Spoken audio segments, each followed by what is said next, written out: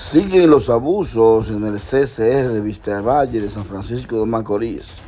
Aquí le vamos a mostrar una madre desesperada por los maltratos que recibe su hijo. En el CCR de No le diga, Vista un Valle. segundo. Señora, ¿el nombre suyo cuál es? Silvia Vargas. Doña Silvia, la denuncia que usted quiere hacer. Mi hijo tiene dos años preso en el CCR de Vista Valle. Entonces, eh, antes de anoche, mi hijo se pone malo de los riñones y me lo llevan al hospital. Allá en el hospital la doctora lo, lo inyecta y me le pone su medicamento, se lo entrega a las patrullas que fue que lo llevó. Entonces, cuando el, eh, un el preso, amigo de él, nos llama como a las dos horas que el, preso, el Isaú, no ha llegado a la celda.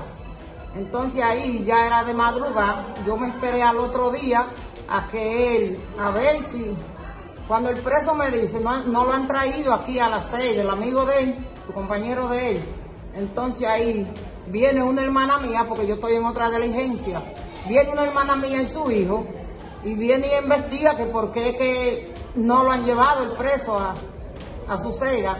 Entonces el, pre- el- el guardia lo que le dice es, no, inmediatamente lo, lo metimos a la celda porque hizo intento de fuga. ¿A la seda o a la plancha? A las planchas, a las planchas, con perdón. Eh, lo metimos inmediatamente a las planchas porque él hizo intento de fuga. Entonces, el hijo de él dijo, pues yo voy buscar un abogado para que ustedes tengan pruebas. Si ustedes tienen pruebas, ustedes van a probar como que mi papá hizo fuga. Mi papá tiene dos años preso y nunca, gracias a Dios, ha tenido fuga de nadie. Y si él está malo, supuestamente o tiene que dejarlo interno, tiene que traerlo a su cuarto, a su habitación. No, pues ya ahorita vine, como a las 12 vine, y le pregunto a un guardia, y guardia de servicio, le digo, oiga, yo quiero que usted me haga el favor, yo soy la madre de Isaúl Concepción, yo quiero que usted me haga el favor porque mi hijo me lo tienen en las planchas.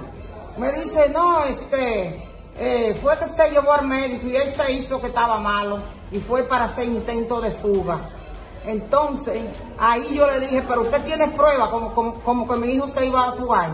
¿Por qué está preso? ¿Él te me dice?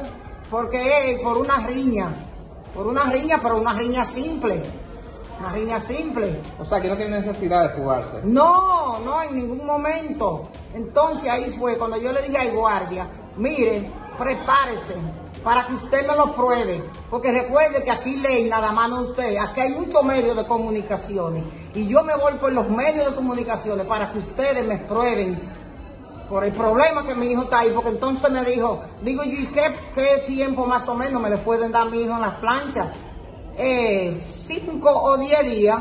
Yo le dije, ah, pues fue que él mató, y mató a uno de ustedes, o fue una cosa demasiado grande, que Ante- usted me le pueden dar ese castigo. Ante esta denuncia, ¿qué usted quiere entonces que, que ocurra? Que se me ande por todos los medios de comunicaciones para que esa gente también se le haga justicia, porque ellos atentos que son guardias, ellos creen que son lo- lo- los dueños del mundo y que son ellos nada más los que tienen sus derechos. Y ellos son muy abusadores. Cuando hay un caso como el hombre que le dio la 300 puñaladas a la muchacha, ellos sí pueden hacer justicia, pero por una riña como lo de mi hijo, es porque yo no tengo dinero, que ellos no me han dado a mi hijo porque yo no tengo dinero. Y el dinero que yo consigo tengo que dárselo a mí a mi hijo. Yo soy muy pobre para juntarle dinero a ellos. ¿El nombre suyo, señora? Silvia Vargas. Y lo que quiero es justicia, justicia. Porque si tengo que irme a todos los medios de comunicaciones con ustedes, yo me voy a ir.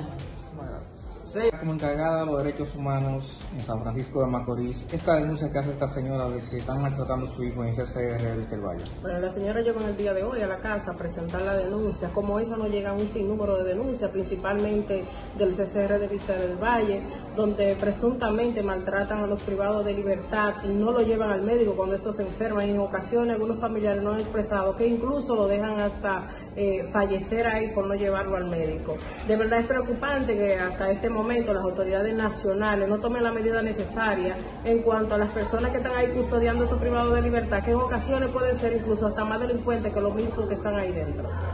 ¿Qué llamado hacer entonces a las autoridades? Estamos cansados ya de hacerle llamado y ellos no prestan atención ninguna.